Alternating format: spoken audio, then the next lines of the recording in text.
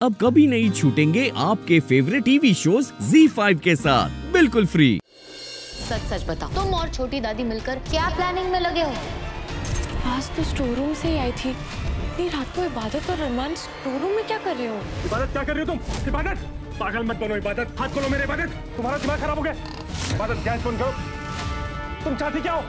सच सुनना चाहती सच नहीं कहोगे ना तो ज़िंदा जला दूँगी अरमान। पागल हो। तुम भी चल जाओगे। अगर तुमने मुझे आग लगाई तो। मेरी बहन की हिफाजत के लिए एक बार नहीं सौ बार चल सकती हूँ।